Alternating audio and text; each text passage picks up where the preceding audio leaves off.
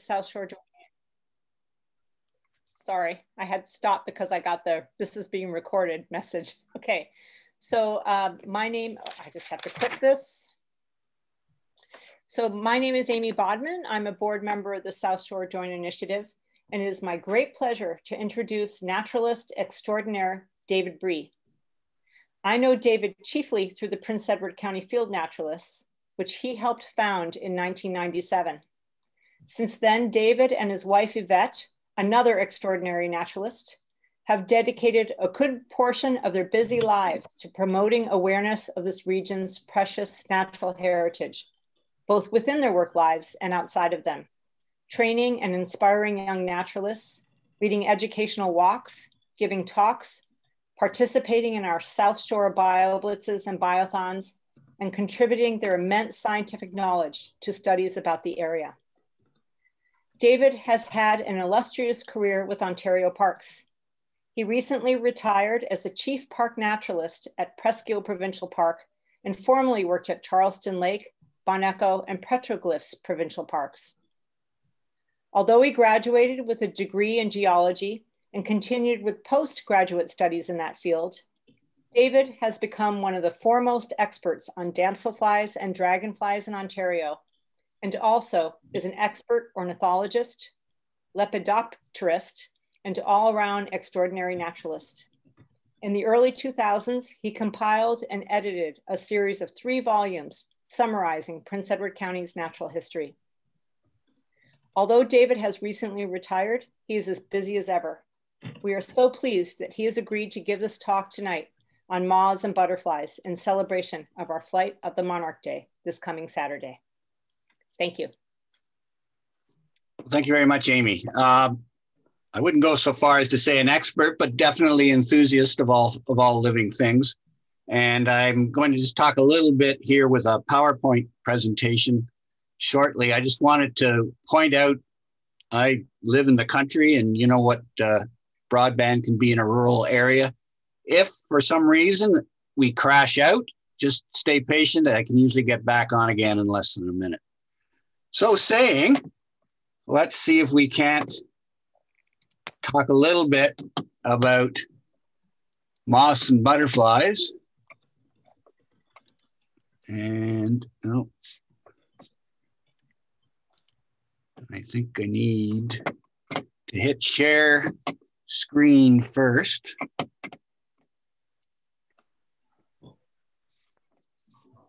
Get rid of myself. I'm going to share the screen. And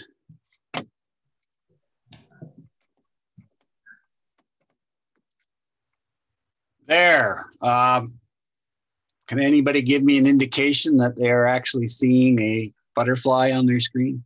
Yep, we're good, Don. Excellent. David. All right. So this evening, we're going to talk about the Lep- Lepidoptera, which are moths and butterflies. Um, and I really want to examine where where they do they fit in the world, and we'll just sort of look a little bit at their life history, um, some of the different types we can find here in the county, and really just briefly, you know, fit find out where lepidopteras fit into this wonderful mosaic of life that we have on this planet. So to start, no surprise, Lepidoptera are insects. Uh, you know, there are only 33 orders of insects for the whole world, and 29 of them can be found in Ontario, which I find absolutely amazing that we've got that diversity right here in Ontario. Now, orders are a pretty big division. It's like a rodent, rodents are orders and primates are orders, so they're they're they're quite different one order to the next. So they are very large groupings. But with all those orders, Interestingly, 80% of insects belong to just four orders. And those are the beetles, Coleoptera, butterflies and moths, the Lepidoptera, about 160,000 species in the world. The number keeps going up all the time as we discover more and more.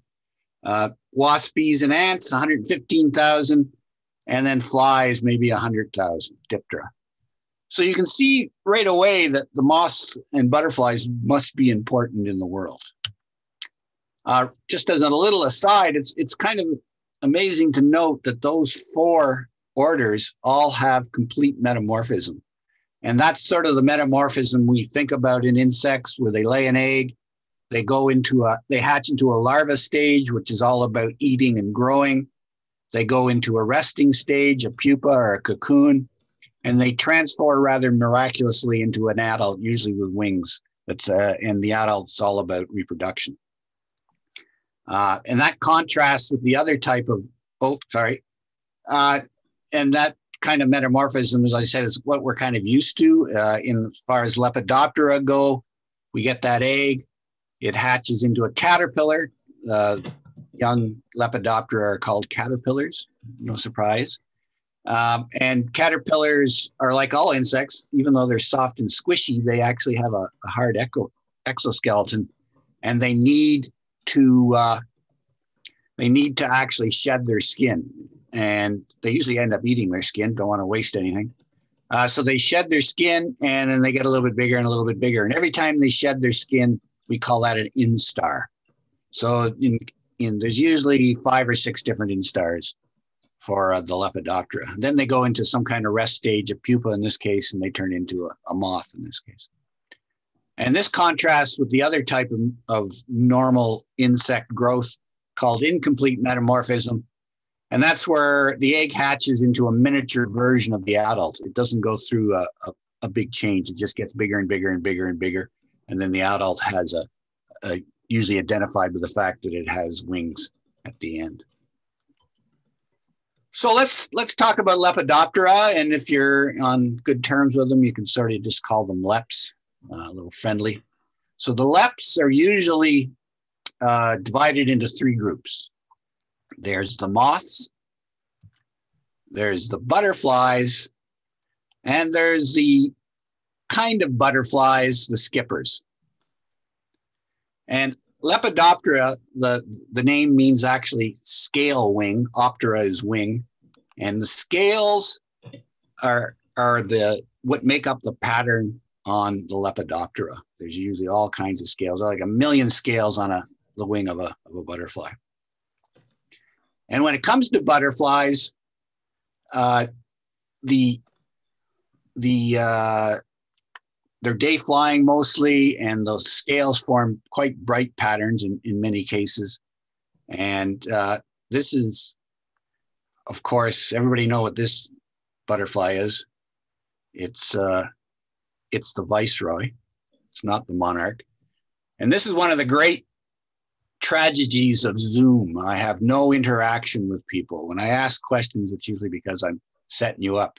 So I can't get that feedback.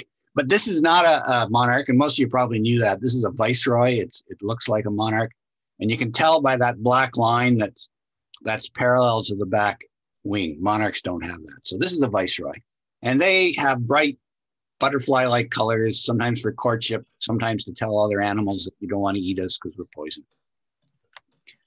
Moths, on the other hand, tend to be uh, brownish, grayish. They're night flyers. Their patterns are all about camouflage because lots of things like to eat moths. And now, if you look at a moth on your porch after you left the light on all night, it doesn't look like camouflage is a very good, not working very well. But if you think about it in a, a natural state, you can start to appreciate that all those lines and blobs really do help it blend into the natural environment. The other thing Lepidoptera, all Lepidoptera share is they have that that sucking tube that rolls out and it doesn't sting, doesn't pierce. So butterflies are very gentle insects and Lepidoptera are very gentle insects. And that's one they're one of the reasons they're such favorites with humans is they they don't hurt us in any way. So yeah, I just mentioned butterflies and moths, and maybe we just have a quick look at the difference between them. And if you ask your general person, or even somebody knows a little bit about moths and butterflies, what are some of the differences? Sometimes you say, well, you know, butterflies fly during the day, moths at night. Butterflies land with wings closed, moths land with wings open. Uh, the pupa are exposed in butterflies, and they're not in moths. Um, there's all kinds of exceptions to these rules, uh, which you probably know of yourself. Uh, here's a this is a moth. It's a day flyer. It's not flying at night. It's quite pretty.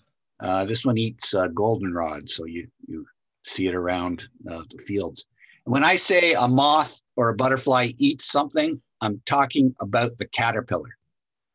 The adults all just tend to suck juices of some sort, but the caterpillar eats eats. That's what a caterpillar does. So when I talk about a moth eating something, I'm talking about its, its caterpillar. So the best way to actually talk about or divide a butterfly from a moth, and I admit you need some good eyesight for this, is butterflies all have clubbed antennae.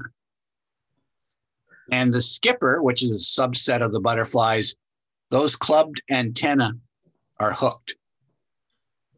So all clubbed, all butterfly, all leps with clubbed antenna are butterflies, all leps with clubbed hooked antenna are skippers, and moths have antenna of various types, feathery or filaments or sort of half and half, but they're not clubbed.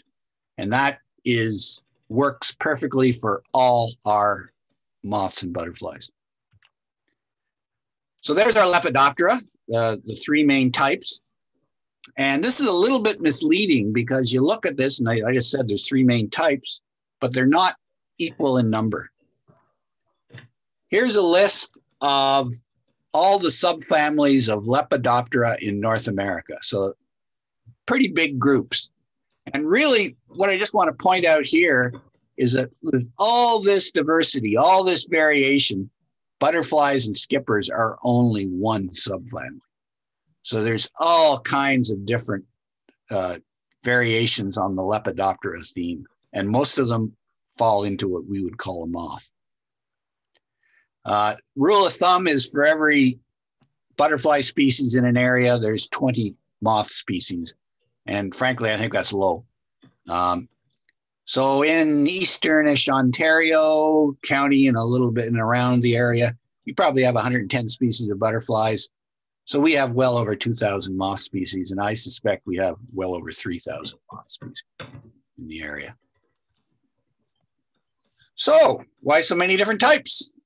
Well, I'm glad you asked that question. Um, there's so many different types because of the way that the the butterfly or the moth evolves. Um, as I said, the caterpillars are the eating stage of Lepidoptera, and many, many, many of them, almost all of them, have adapted to eat only a certain group of plants and sometimes only a certain species of plant, and that's the caterpillars eating. And I think most people are quite familiar with the idea that the monarch butterfly shown here, or the uh, monarch caterpillar, only eats milkweed. But it's not the only one that has a very specific diet. And matter of fact, they all do. And with all the different plants in the world that have evolved, the Lepidoptera have evolved with them. And every every plant has its suite of Lepidoptera caterpillars that, that eat it and only it. So that's why you have a, a pink shaded fern moth that's only eats ferns. You have a scarlet winged lichen moth that only eats lichens. And you have a raspberry Pyrausta, which only eats, and I'm hoping some of you out there are at least whispering to yourselves raspberries. Uh, unfortunately, you'd be wrong. Set you up. Sorry. Uh, they only eat mints. Uh, the raspberry comes from its color. Beautiful, beautiful little moth. It's it's less than a centimeter long, but beautiful. And butterflies are just the very same. Red admiral haven't been a lot of red admirals around this year, but their caterpillars only eat nettles. Uh, and there's our our cabbage whites. Uh, we were talking a little bit about that earlier uh, before the show started. Uh, and cabbage whites, of course, only eat the broccoli in your gardens. If there's any gardeners out there, you know that. Well, they eat they eat more than that. They eat anything in that cabbage family. But if you grow broccoli, you know all about cabbage whites and the little green caterpillars you got to pick off before you can eat them. So we have a huge number and diversity of Lepidoptera. So that's numbers. numbers and diversity of species, but what about volume? What about bulk? And one of the best illustrations I've ever seen on any natural topic is this one. This comes from the cover of an Algonquin trail guide. And what it's showing is the proportion by weight of animals in the in the deciduous forest in midsummer in Algonquin. So if you took a square kilometer of deciduous forest in midsummer and you turned it upside down and you shook it and all the animals fell out and you divide them out by kind and then you weighed them and then drew them in proportion to their weight, you would see that even though bears are pretty big, they, you know, by weight in the forest, they're a pretty small component. These little dots, I don't know if you see them in the bottom there, those are wolves. So they barely register. There's lots of chipmunks, lots of mice, fair number of birds, huge number of salamanders, I bet you didn't know. But when it comes to leaf eating caterpillars, that, that's far, far greater than everything else combined. So there's just millions of caterpillars in there munching away on leaves. So now we know there's lots of leps, great diversity, great number of species. There's lots of lept individuals, lots and lots of caterpillars out there. So I think we can now sort of make the assumption that moths are an important and integral part of the ecology of our habitats. They really fit into that mosaic of life. And I'm going to come back to that number three point a little bit later. But I thought I'd just branch out a little bit and talk about the identification of Lepidoptera and uh, some of the ones we find around here. So the two books I use to identify uh, moths and butterflies now are the two at the top. The, uh, the, the ROM guide for butterflies is, is quite good and it's just Ontario. And the Peterson guide is is good for moths. It's not complete. Like I said, there's probably 2,000 moths around here. It's hard to fit that into a trail guide, a guide, but there's lots of lots of variety in there, and, and most of the ones you see are in there. Uh, the ones below, uh, the butterflies through binoculars is pretty good. Uh, it's the whole of eastern North America, though, so there's lots in there that we don't get. And the Papillon de Quebec is is quite complete for Quebec, so it's almost complete for Ontario. Now, the papillon, when it comes to moths and butterflies, the old time guides always showed them pinned with their their wings spread, which is is quite all right if you're doing lab studies. Um, but nowadays, most people are more interested in, in just taking a picture of the live moth. And seeing the pin specimen is sometimes very difficult to relate to the way the way the live moth uh, sits. And this example is is extreme. This is the pin moth, and this is the way the moth looks when it's sitting on your porch under your light. So you can see how that would be very difficult to identify using the old style uh, guides. And that's why this Peters, not the old Peterson moth guide, but the new Peterson moth guide Dave Beadle and uh, Seabrooke Leckie, Leckie, sorry, um, and they're both from Ontario. So this is not only, uh, even though it's the Northeast North America, it's really Ontario, and their their uh, guide shows them all in their live, uh, live the way they they they live. So it's much easier to uh, identify them with the real thing sitting under your porch light. You can also go online to see some cool things. Uh, this moth photographers group, uh, it's all of North America, though you can you can get on down just Ontario, and it has lots and lots and lots of pictures. It has very little information beyond the pictures, though, but it's a good guide if you wanted to really delve into moths. And nowadays there's iNaturalist. I don't know how many people out there use iNaturalist, but you can take pictures. Anybody can take pictures and post them on here, and sometimes somebody else will identify them. Or you can go on in the explore section and just see if you can find what you're looking for. Uh, and this has really only been taken off in the last four or five years. And uh, you can see there's already three and a half million people signed up. So there's lots of uh, data being gathered. It's, it's going to be great.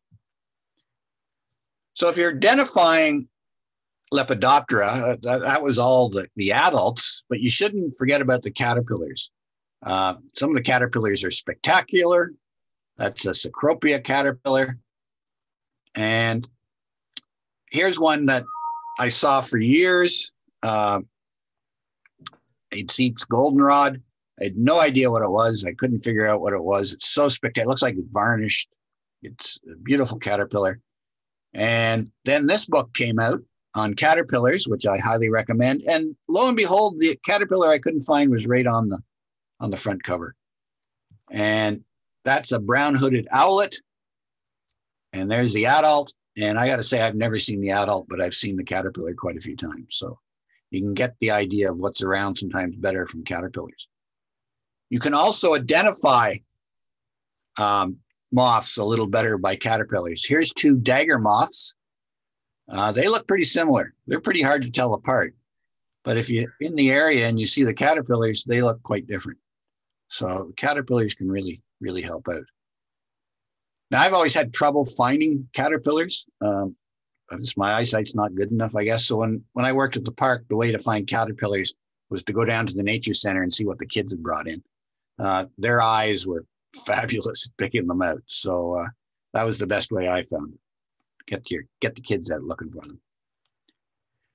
But you got to be careful. You don't want to be fooled because this looks like a caterpillar.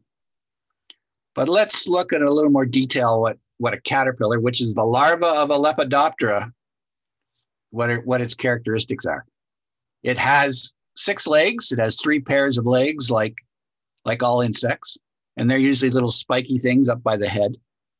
But then it has these prolegs, and they're the fleshy bits on the body. And but butterflies and moths only have one, two, or four pair of mid abdominal prolegs, and then the anal uh, proleg at the back. So everything else is the mid abdominal if you don't count the back one. So if we go back to this thing, which found crawling along, and count them, so you can see the, the true legs pretty well, but let's count the prolegs. There's one, two, three, four, five, six, and there's another one hidden in there, seven. So seven mid-abdominal prolegs. This is not a caterpillar. This is the larva of a, of a sawfly. And sawflies often are in groups as caterpillars, or sorry, as larvae. Um, European's pine sawfly, the introduced one, as you can guess. Uh, the willow sawfly, fairly spectacular looking, and they are often in these groups that that do this kind of funny little sawtooth behavior when they're disturbed, whether they're trying to look like the teeth of a bigger animal or something to, to scare whatever's around away, maybe. And the adult of a sawfly oh, is, is, is kind of a, uh, looks more like a wasp. Anyway, so now I'm jumping back to the, the variety of, of moths. Uh, all these different superfamilies. The ones in green are the ones we call the macro, the big moths, and then of course butterflies and skippers. And these are what we usually see. All the other ones are, are quite small. So just looking at these big ones, some of the types that we we can see are the silkworm moths. These are the big ones. There's about six or seven species in the area. They all fly in June. Uh, and this is the only silkworm moth I've ever found away from a light. This is Macaulay Mountain Conservation area. Can everybody see the, the silkworm moth? As I was walking down the trail, I saw it. It's right there.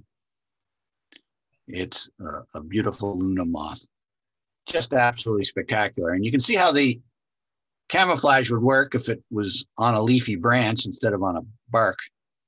Uh, but there's there's several several. Like I say, there's six or seven of these big big silkworm moths.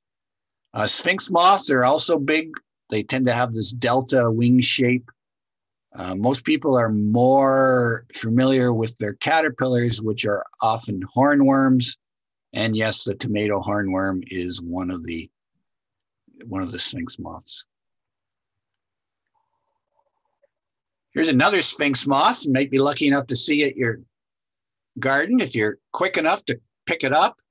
You see it flying around. A lot of people think these look like hummingbirds, and they certainly do. But that's actually a day flying sphinx moth, and that's called the uh, clearwing hummingbird clearwing. There's a still of it, so you can see the the scales. Even though it's a Lepidoptera, half its wings don't have scales. Beautiful, beautiful butterfly coming to beautiful garden plants. Uh, there's geometer or inchworm moths. They all tend to land so that you can see the front and back wings, and the pattern just sort of flows from one to the other. Usually, a, very broad looking uh, moth. And they're called geometers because the caterpillars have only one mid abdominal proleg. So that means when they want to crawl along, they got to scooch their back end up, anchor it, and then throw their front end ahead and anchor their true legs and then bring the back leg up again. So they they move in this inchworm type fashion. And that's what inchworms are. They're actually the caterpillars of geometral moths, geometer moths. Dagger moths are, are often big and hairy and they don't move much once they've landed for the day, and they can be quite pretty, including my favorite all time moth, the great dagger moth, which I have not seen in the county, but I have seen just north of the county. Uh, another group are the Cato, Catocala or underwing moths, uh, and they they're out right now. They're a, a late flying moth, usually in August, September, and they have a great camouflage pattern on the front wings, which usually covers up the back wings. And then when they're disturbed, they flash their back colored back wings. Uh, theory being that it, it, startles the, the predator and it uh, can get away. Then there's the caterpillars, which in Lepidoptera that people don't like. Uh, tent caterpillars. There's two, two, two species of tent caterpillar. Uh, the eastern is the one that makes the, the tent, and the forest actually just makes webs. Um, and they are a little bit destructive depending on their cycle they're in, but they are native and they tend to eat the leaves early in the season so that the tree can actually grow a second crop of leaves or tree or bush and and gets a you know doesn't really harm it that much. Uh, this one you may have seen flying around this year, particularly north of the county. The county hasn't been hit too hard, but this is the the the moth formerly called the gypsy moth. Uh, they're tending to go away from that name now, but uh, it cycles. It's been around for decades, and it cycles up and down. And when it's it's very high, it can really eat a lot of leaves. If you go up to the Highway 7 corridor, you can see all leaves have been stripped. And they're they're a summer feeding caterpillar, so they do damage the, the trees worse. So that's why a lot of people want to spray for them. And the argument is, well, you're spraying a natural bacteria, uh, BT, that only kills leaf eating caterpillars. But if you hearken back to that uh, Algonquin uh, book, you can see that killing leaf eating caterpillars in a forest is you're taking away a lot of the biomass of that forest. So it's not something you want to do lightly. And then all those yellow ones, those are all called micromoths, and they come in all kinds of shapes and forms, usually less than a centimeter. And we'll just leave those for another day, but they're pretty cool. Butterflies, the skippers I mentioned, they're usually small and orange, difficult to identify. Uh, this is one of the easier ones to identify. This is the Arctic skipper, and it's got that mottled pattern. Uh, swallowtails are a favorite butterfly. This is the giant swallowtail. And before 2008, you wouldn't find this in the county. In 2008, it moved north and it established uh, colonies here and it flies twice. There's one brood in May, and then there's another brood that's flying right now. Uh, giant swallowtail is an example of a species that has moved north. And its caterpillar eats uh, the prickly ash, and it kind of looks like bird droppings. There's all kinds of cool uh, butterflies called uh, hair streaks. And they're all quite pretty and they're all fairly rare in the county, except this one. This is the juniper hair streak, and it eats junipers, and the juniper it eats is the red cedar, which is really a juniper. And red cedar is only really found in Canada in the Quinte area and in the Ottawa Valley. So this is very much a, a, a uh, specialist. You don't find this in too many places in Canada except around here. Juniper hair streak. And of course, there's the, the most famous butterfly of all, the monarch. And I wanted to just talk about the monarch story a little bit. Uh, part of the reason is you're having a monarch day coming up. And also, it's a really cool story. And it's a really cool Canadian story. And monarchs are just so well known. This is just something we are doing at the park. You can see everybody's likes to dress up as monarchs. They like to hold monarchs. They like to, to look at monarchs. And I think most people know the story that the entire Eastern North American population of monarchs migrates down to a few mountaintops in central Mexico, spends the winter down there, and then starts coming back in a series of generations. It takes maybe three generations to get back to Ontario, but only one generation goes down and then comes part, part way back. So that's, we know that now. Back when I was a kid, we didn't know that. We didn't know where the, the monarchs went. And Dr. Uh, Urquhart here, Fred Urquhart, and his wife, Nora, they, he was an entomologist. And even as a kid, he knew that the monarchs were going somewhere but he didn't know where. So the two of them started up a, you know, this is not his main job. This was just his his passion and his interest. This monarch uh, information center, and they were trying to figure out where the monarchs went, and they knew they had to tag the monarch and then find that tagged monarch somewhere in the winter. And the big sticking point, uh, which is a poor pun here, in the early years between 1937 and 1952 is they couldn't figure out or find a tag that would stick to a monarch without affecting it. But during that time, uh, you know, industry is is in, in, in progressing, and they came up with uh, an adhesive to use on their uh, groceries, and that worked for the monarchs. So in 1952, and here's his tag using, they put out a notice in a number of papers saying they were looking for people to tag monarchs in Canada and the Northeast United States. Uh, this one's a little bit later. This is in the 1952, but it's something like this. And 12 people answered that ad. And one of the people that answered that ad is the woman on the right. That's uh, Audrey Wilson. And she had a cottage at the park. Uh, she's still around. She still tags butter. She's been tagging monarchs for over 60 years. So I think that's pretty cool. So anyway, they were tagging these butter- butterflies. They were tagging these butterflies. They were flying off in a southerly direction, and nobody knew where they were going. And then in the 70s, an American expat in Mexico noticed a lot of monarchs up in the mountains. And he contacted Fred Urquhart, and Fred said, I need you to find a tag. And they looked for a tag and they looked for a tag and they never found a tag.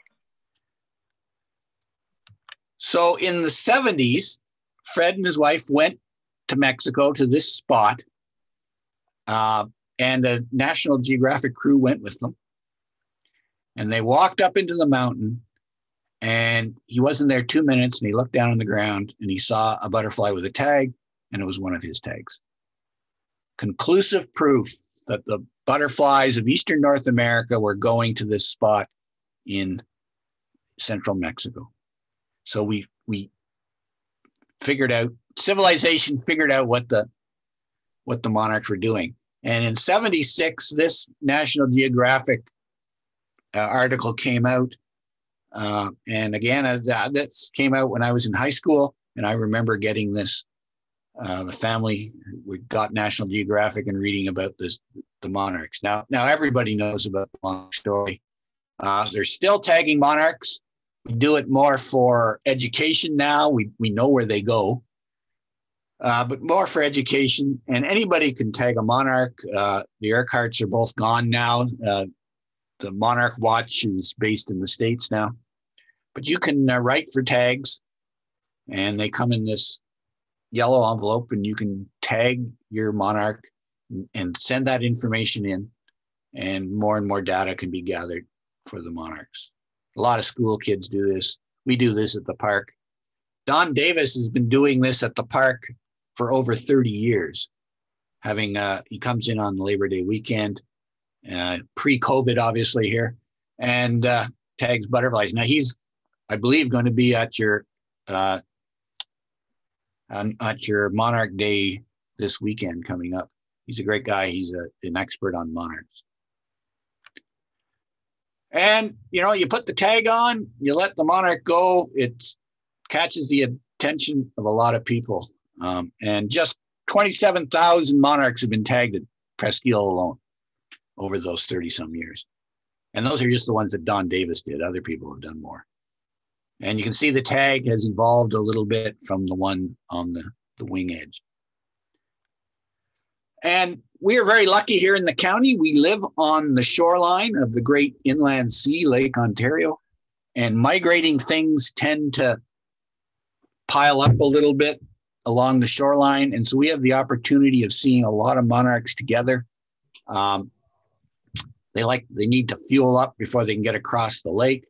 And that fuel might be nectar from some asters, or it might be the juices from a dead duck lying on the shore or a mud puddle. It's it's all energy for them. And this is sometimes you just see a whole bunch of monarchs. This is uh, September 2008 at Presqu'île. And there was about 10,000 monarchs in one tree that, that day. It was just the right conditions with the wind direction.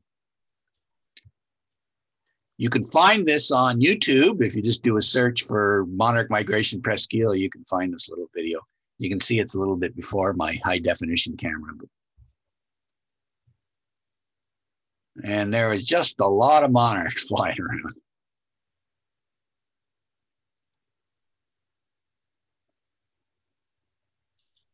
Oh, uh, David, your picture is not showing for everyone. Oh, the video? Yeah. I don't know how to fix that, but it's gone now. There was a lot of monarchs in the tree. Sorry. Um,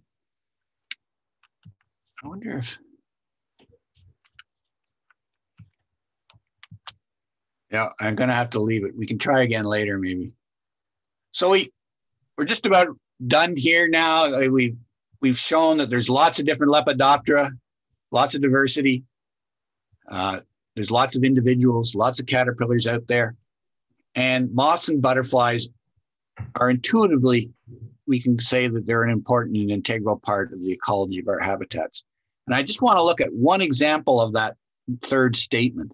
And this is an example brought in by uh, Dr. Tallamy from Rhode Island. And he just has a, a perfectly simple little story he had a chickadee nest outside his window. So he started um, watching the chickadee bring food. And birds, all kinds of birds, when they feed their young, need protein. Even birds that we think of seed eaters like sparrows need protein for their babies. And so they they go after caterpillars. A lot of them go after caterpillars. And he watched that chickadee nest though, and he found that to raise four baby chickadees takes 6,000 to 9,000 caterpillars just to get them out of the nest. That's a lot of caterpillars. And then he went out in the yard and he walked around four trees in his yard. One was a white oak. It had 230. He sees caterpillars a lot better than I do. He saw 233 caterpillars of 15 species in a quick walk around. The black cherry had 53 caterpillars of 10 species. And then the last two plants, just a, just a couple of caterpillars, one species. And I think you probably can guess that the first two are native plants and the last two are non native plants. And it really just comes down to some couple of take home lessons here. If we want our ecosystem to work, we need to have that diversity. And so, what we need to do is we need to preserve wild places and plants that grow there. And that's something that the South Shore people are doing, uh, trying to protect that area along the South Shore of Prince Edward County. And the other thing we can all do is just plant native plants everywhere in your garden. Uh, this is a way station, but it's supposed to be good for the monarchs nectaring to get through the states because the states with their genetic modified fields have gotten rid of a lot of a lot of plants, unfortunately, that uh, monarchs would use. But you really want all kinds of plants. You want leafy plants that the the caterpillars are going to eat, and you want to just let them eat them. You know, if they're they're not going to to strip them bare, but you want those caterpillars all over the place for the birds, for other insects, because they're they're cool to look at, moths and butterflies, but they're really more than just uh, a meme, a social uh, little joke. They really are part of the mosaic of life, and they're really quite important. A part of that that you have right in your backyard, or hopefully you have right in your backyard. And that's all I have to say.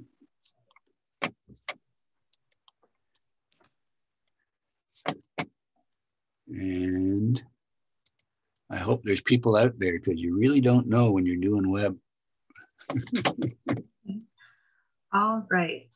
Um, if anyone has any questions for David, uh, please feel free to put them in the chat box. Um, David, I don't know if you have the chat box open, but we have a lot of people saying um, that that was an excellent presentation. And well, thank you. Thank you. It was great. Um, Stephen mentioned that it was a great lesson to preserve the food web of course. Um, all right. Oh, and we have our first question. So, uh, have the swallowtails moved north due to climate change? Have the swallowtails moved north? Why? Due to climate change. Well, who knows for sure? Maybe. Maybe. Um, there's lots and lots of animals that have moved north in the last hundred years. Uh, but you also have to remember that human influence in this part of the world has changed the ecology of this world quite a bit as well of, of north. This used to be a thick forest, and probably they wouldn't have liked a thick forest because prickly ash grows on the edges. Maybe I mean there's a lot, a lot of incidental in, uh, evidence like that for, for climate change, but it's not the only variable. Sorry, I'm trying to figure out how to show myself. Just uh, click stop sharing screen. That should. Oh, yes, sorry. Thank you. There you go. All right. Um, we have a tech advisor. Um, yeah, so we have a couple more people saying that that was great. Really looking forward to Monarch Day. Um, yes. Yep. Uh, excellent as usual from uh, Cheryl. Does anyone have any other questions for David? I have a question. How many people out there had broccoli that the cabbage butterflies eat?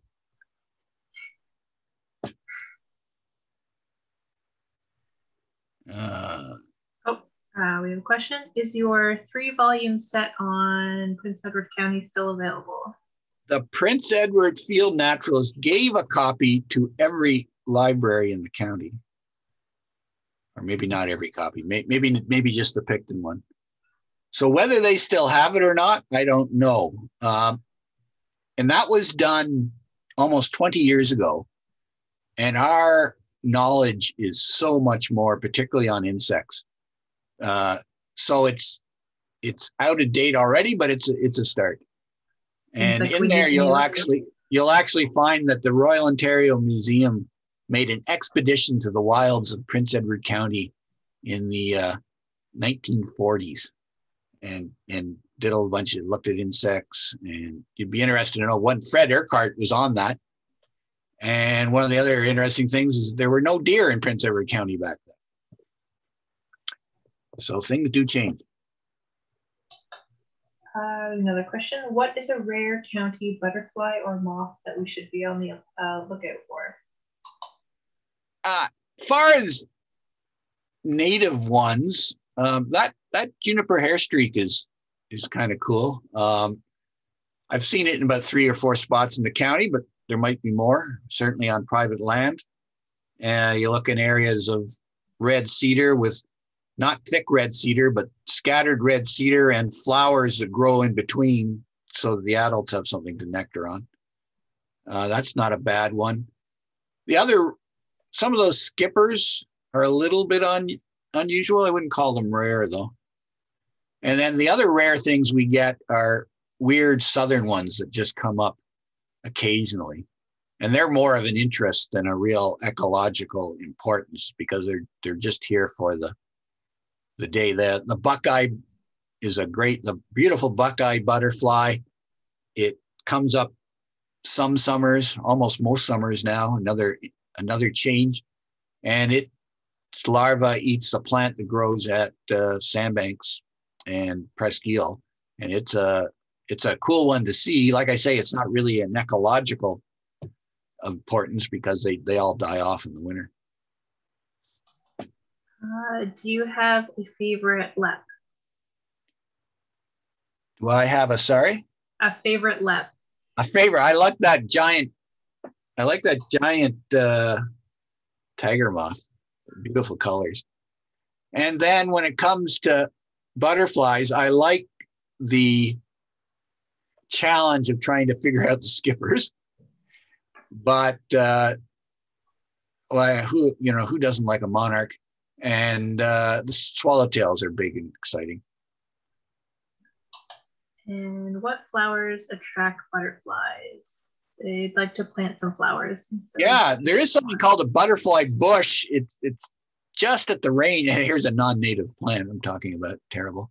Um, but the nectar really attracts them. But it, it's right at the range of North Range here, so they don't always live and survive the winter in, in yards. Um, echinacea is good. Dahlias are good. Uh, and I say that because we just planted them in our yard and they're really attracting the butterflies. Uh, but I, almost any of those things that have, uh, have flowers are good for butterflies. Are there caterpillars that we need to avoid touching or letting them on our skin? Kids are always asking this. Yeah. Um, if an in, if a caterpillar is hairy, there is a chance it can irritate the skin, and it's just irritate.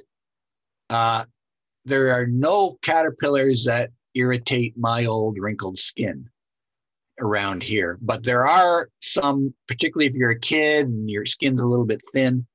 And the, the, the famous one people tend to talk about is the hickory tussock moth. It's, it's uh, white with a few black bristles. And those bristles are barbed and they break off in the skin. Um, and they're just you know they're little making little micro cuts on your skin and it's it's an irritation it's nothing really dangerous though um, they don't inject poison or anything but but hairy caterpillars have hairs to protect themselves so that's that's what they're doing somebody gave up on growing broccoli yeah they're they're around and uh, oh there's a good website somebody gave us yeah yeah, someone just posted a great website. I don't think the attendees can see it, um, but it is a presentation on which native plants host which caterpillars. And I will post that link um, to the email that I'm going to send all of you with the YouTube recording. Yeah, the, the internet is just full of great, great resources nowadays. Uh, another good, uh, the Fletcher Wildlife Garden in Ottawa has a good website as well. All right. Does anyone have any other last minute questions for David before we wrap things up?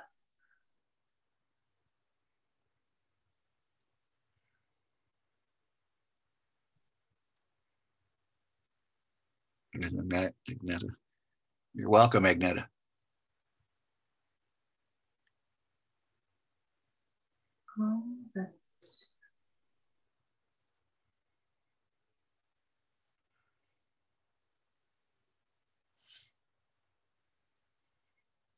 All right. So thank you very much, David, for giving us a wonderful presentation on butterflies and moths. And it seems like a lot of people learned a lot of things about butterflies and moths, which is great. Um, for anyone who wasn't paying attention to this presentation, we have the Flight of the Monarch Day upcoming uh, this Saturday from 2 to 5. And as David mentioned, we will have Don um, doing a demonstration on monarch tagging, so you can learn all about that. Uh, you can help collect um, scientific data on monarch caterpillars in the um, monarch meadow and take home a free monarch craft for your kids. And on Wednesday, September 1st, um, we'll be showcasing the Shoreline documentary, um, which is a special presentation by A Greener Future, and it showcases um, their executive director, Rochelle, as she paddles 420 kilometers across Lake Ontario um, to basically raise awareness for plastic pollution in the Great Lakes.